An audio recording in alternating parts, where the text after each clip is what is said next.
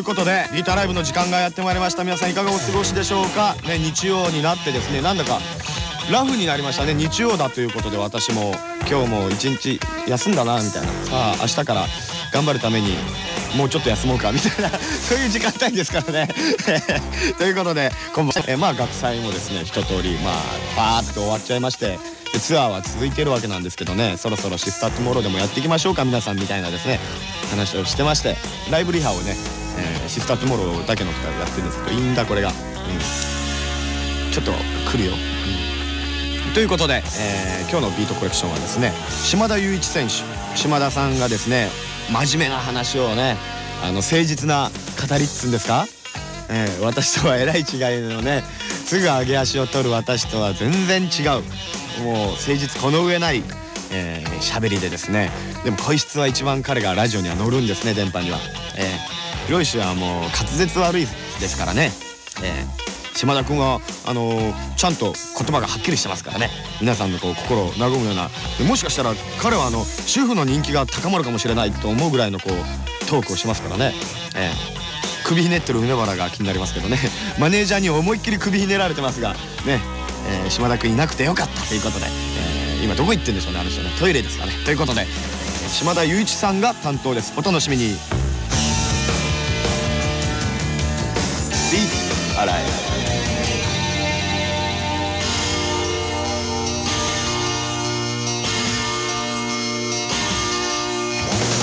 はい今日の1曲目です。ジェリーフィッシュで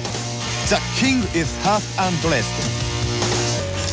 はい、えー、ということでジェリーフィッシュで「The King is Half Undressed」聞いてもらいましたが、まあ、裸の王様ということですね訳すと、えー、このジェリーフィッシュという人たちはですねまだ詳しいことは全然分かっておりませんでですね新人ですね、えー、だけど資料が何にもないんで、え、語りようがないという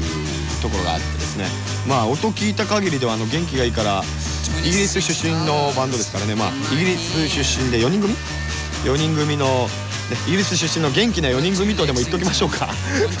とんでもないかな。それじゃあ、えー、それじゃあ型がないんであのプロデュースがですね、えー、クラプトンのですね461オーシャンブルーバード。これは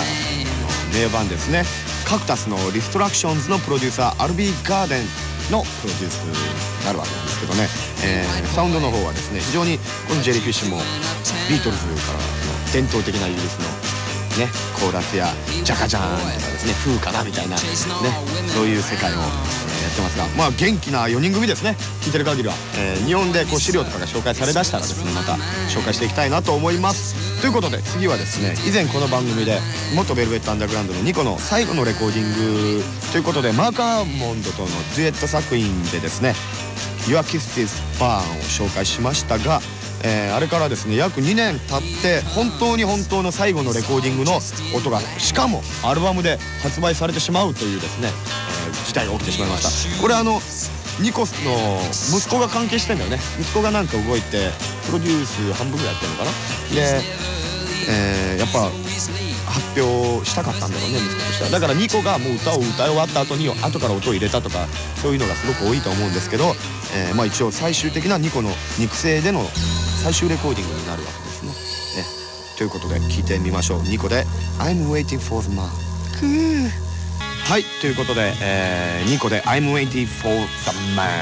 聞いてもらいました。がベルベットのやっぱオリジナルベルベッツの人ですからね。おお来た来た来た来た来た っていう雰囲気がもう歌い始めた瞬間に決まりっていうですね。ありますけど音は俺あんま好きなんですけどね。ドラムとかね。この間のバッドフィンガーに近いものがありますからあんまり好きじゃないんですけどやっぱ歌のパワーがすごいね。あの呪文を唱えられてるようなさ呪われちゃうかなみたいな怖さがニコにはあっていいんですけどね。この人がやっぱそういうのは元ですからね。ほとんど60年代に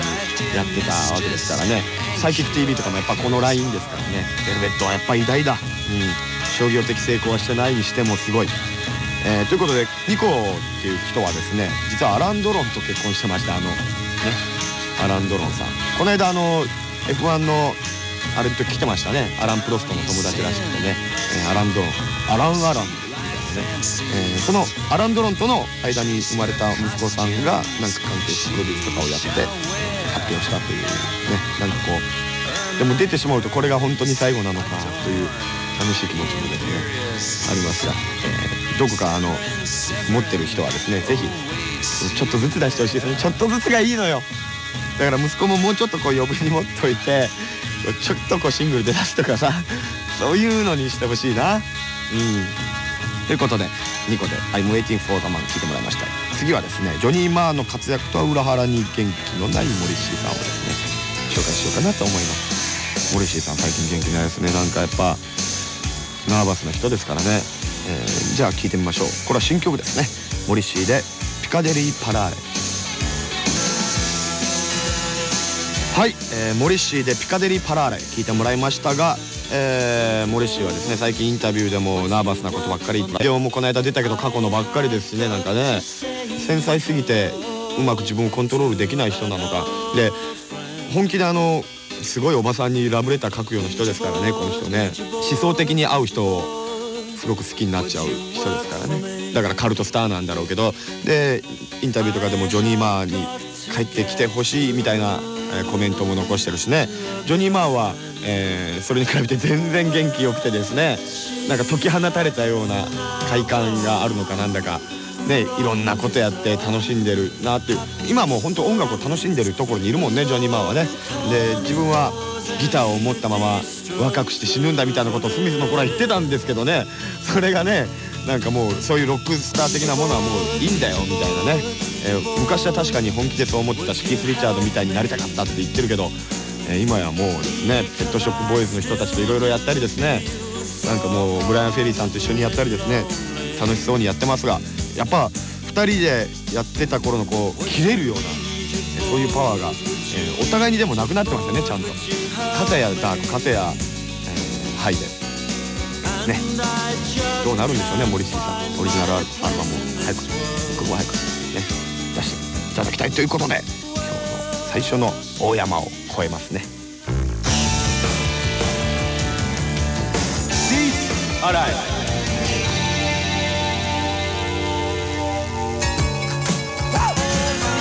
はいということで、えー、今週の和みはですねリンゴスターで「Your16」をお送りしましたがこれもね和むな。しかし CD で聴くといい音で撮れてますね。このピアノとかね、えー、やっぱ昔の方が音好きだな。なんか生音っぽくてね。えー、いやリンゴスターね。ということで次のビートコレクションは同じドラマーの島田雄一さんにですねご登場願って誠実なしゃべりでお送りします。島田雄一が送るビートコレクション。ビートアライ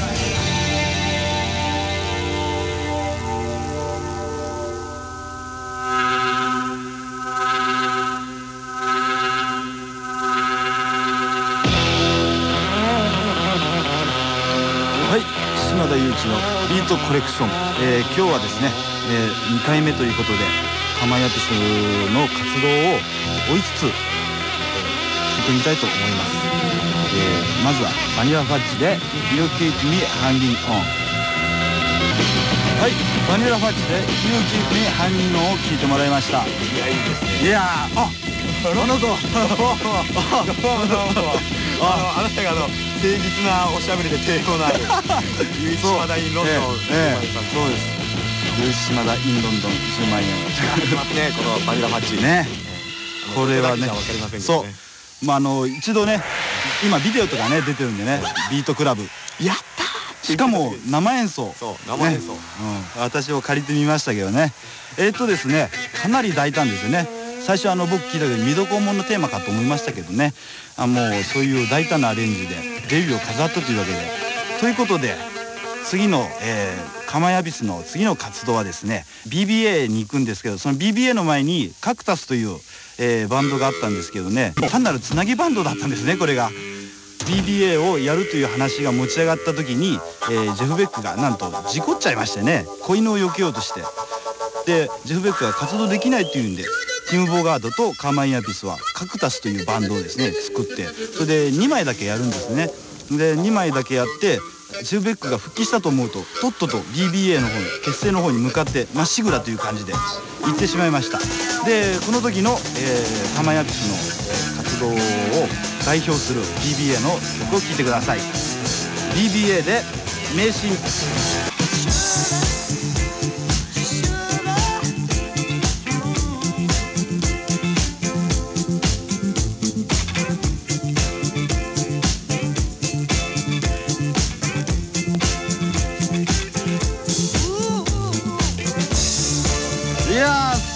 かっこいい立ち位置かっこいい。ということで、えー、続きでですね、えー、ロッド・シュアートで「I'm Sexy」はい、えー、ベック・ポガードアピスで、えー、名シーン。これはまあスティービー・ワンダーの曲としてすごい有名ですよね、えー、ということでですねバニラファッジの時よりファンキーノリがすごいファンキーになってますよね。でもバニラファッジ時代の重さみたいなのはあのちゃんと残っている。そしてまあバンド内核融合というかもうバンドの中でジェフ・ベックともティンボガードともうカーマイアンビスがもう「おお前こう来たかじゃあ俺はこう行くぜ」みたいな感じでもうメロディーラインも何もかも無視したようなですねテクニックの応酬でですねやってたわけですね。であのまあ、カーマイアンビス自身もねあのこの頃のことを振り返って、まあ、インタビューなんかでも言ってるんだけどティム・ボガートベースの人がですねあのソロになるともうノリノリになって一弦とかねあのハイポジションで、ね、もうブンブン弾きまくんでボトムがなくてねすごく悲しかったなとねあの本人言っておりますよね。まあ自分もねああやってもう手数でかなり応酬してたからね。でも BBA の子ってかなりリードボーカルとかも取ってるんですよね。まあ実際あのドラムをしながらあんだけ歌うということはかなりすごいなと俺なんか思うわけですよね。本当に。ということでまあ、次の、えー、活動がですね BBA を経てロッド・スチュアートに行くわけです。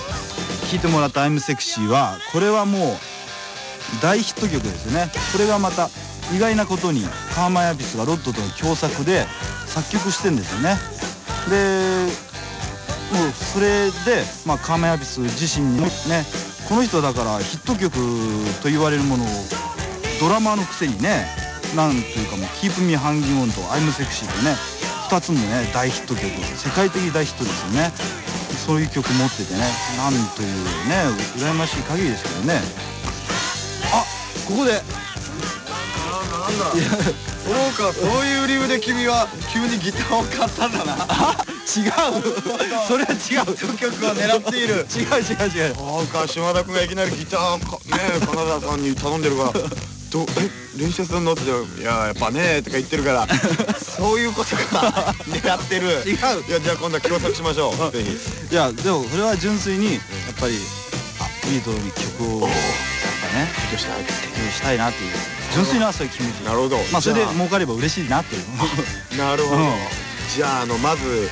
A から覚えましょうね。はい。道のりは長そうだな。G と A とですね、うん、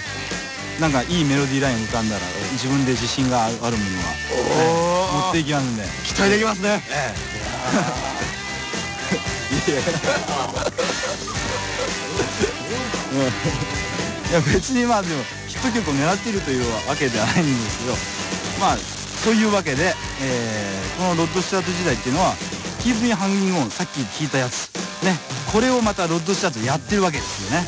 でこのロッド・スチャートとバニラファッジの違いっていうのは感じとしてはそうだな。松崎しげるが歌ったような感じかななんか。うんなんかあんまりインパクトはなかったですね。こっちのロッドの方の「キープミハンギンは僕はあんまり好きじゃありませんね。えまあそういうことで、えー、ロッド時代っていうのはまあこういう感じで、えー、幕を閉じてそして、えー、いきなりもう去年の話になっちゃうんですけどそのロッドシャートを経て今度89年1989年にブルーマーダーというトリオバンドを結成しています。それではブルーマーダーの曲を聴いてもらいましょう。ブルーマーダーで「ダイオット」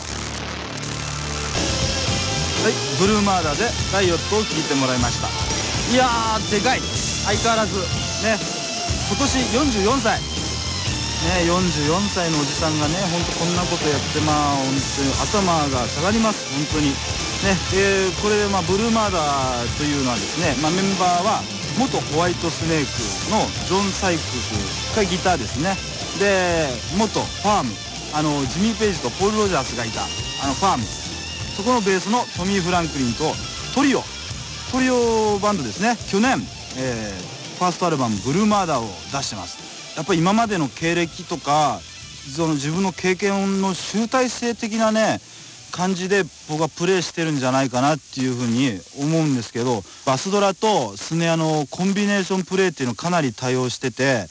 タタツタタタタツドドドドバーンみたいな一箇所ねどっか聞かれたと思うんだけどカーマンヤピス節っていうのはいまだに健在というか磨きがかかってるような気がしますね。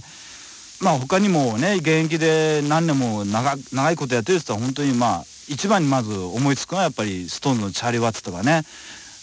なんだけどまあリンゴスターもそうだし本当に継続は力なりっていう言葉がねすごく当てはまるような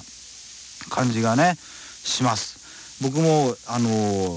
カマヤビスとかっていうのは本当にまあ最近よく聞き出したドラマーなんだけどもっともっと聞いてね自分の中のエッセンスにしたいと思ってます。というわけで今日の島田雄一のビートコレクションはカーマインアピスでした。それでは。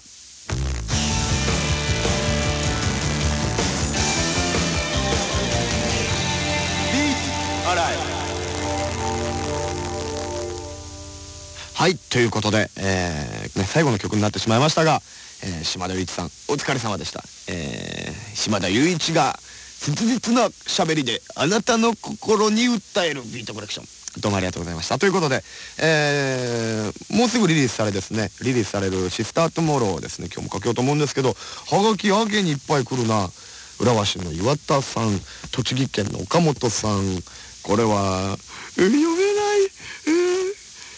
岩沢千佳さんこれどこですかこれ？はいということで、えー、振り仮名を。これはどこだ？ああこの消印もね読めない、ね、教えてくださいね今度はね。それから葛飾区の細田さんそれから町田市の野村さんえー、っと杉並区の黒川さんそして、えー、東村山市の岩崎さんとですね京都府、えー、京都府って京都だよね。ぐー。伊勢さん。ね、えー、他からですね。今パート紹介しましたが、えー、随分いっぱいもらってますが、えー、一つ紹介しよう。この村山市の岩崎さん岩崎佳代子さんのお手紙です、えー、こんにちはひろしさん。シスターともらとってもよかったです。初めてのラブバラードですね。この曲の詩の中で今も覚えてるさ口づけのぬくもりをと言っていますがこれは現実のひろしさんと関係があるのでしょうか。雑誌のインタビューとかを見ても女の子の話が全然出てこないのでまさかこの口づけというのはボンさんとの体験では。えー、ちなみに私は電車に乗ったりするとひろしさんが乗っていないかなと周りを見回していますと。ね、えー、東村山にあんまりないかな俺。あんまりないなその辺には、えー、でも岩永君と口づけの方が冗談じゃない。やめてよあれだって盛り上がるからねしょうがなくやってんだからということで、えー、皆さんからの、えー、リクエストどうもありがとうございました。それでは聴いてください。ビートで「シスター・トゥモロー」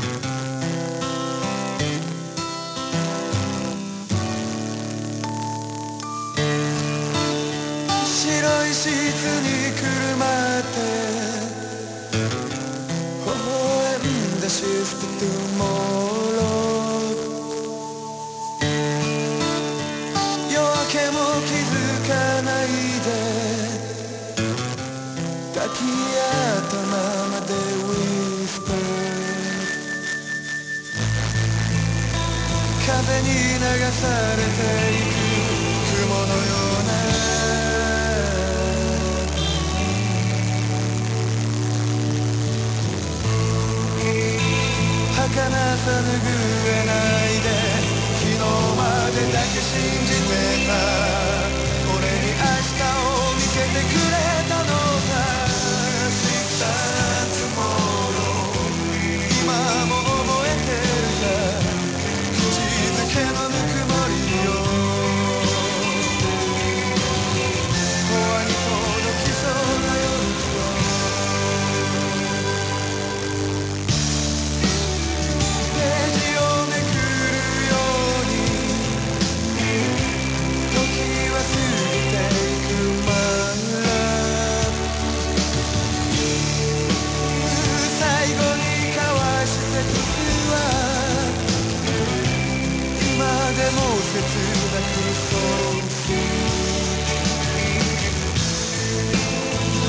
星の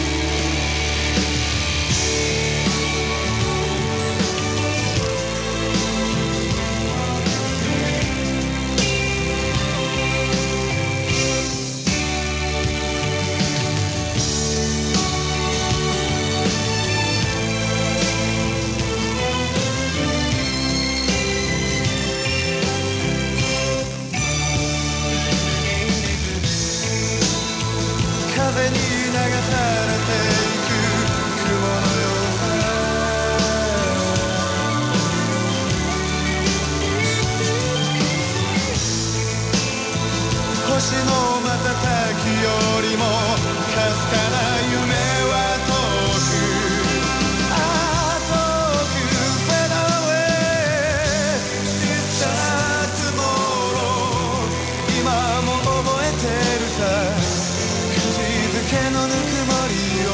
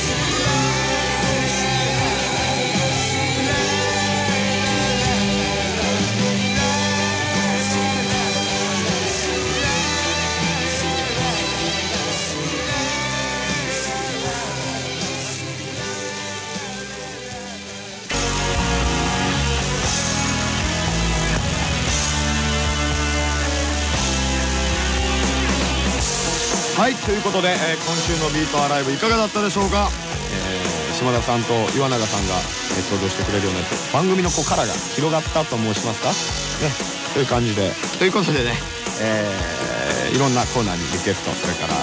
メッセージ、えー感想どしどし送ってきてください。宛先は郵便番号336浦和市ときわ4の16の 2FM ナックファイブさん。えーアップビートのビートアライブそれぞれの係まで、えー待ってます、えーあなたの選ぶギタリスト、え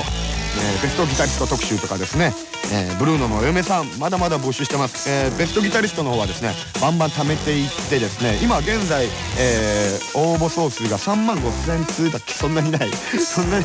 それぐらい来てましてそれでブルーノの方が8通。えこれはまだまだ募集してますから、えーどしどしお送り、えー送ってきてください。それからですね12月ぐらいになると、まあ、年末ということでアップビートのリクエスト特集をやってみようかな。アップビートの曲この曲が聴きたい。あの時私はこんな心境でこの時にアップビートに出会いました。というね、えーそのようなハガキをですねどしどし送ってきてください。歌は世につれ世は歌につれというコーナーをやっていきますんでよろしく。ということで今日のお相手は広石武彦が、えー元い、えーインクルーズド島田雄一がお送りしました。それじゃあ来週まで。さよなら。